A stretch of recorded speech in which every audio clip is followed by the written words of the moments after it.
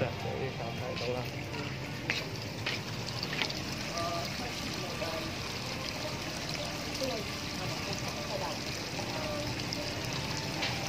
cho mình một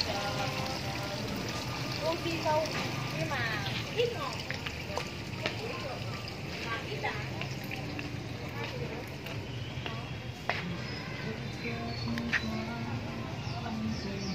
bỏ lỡ những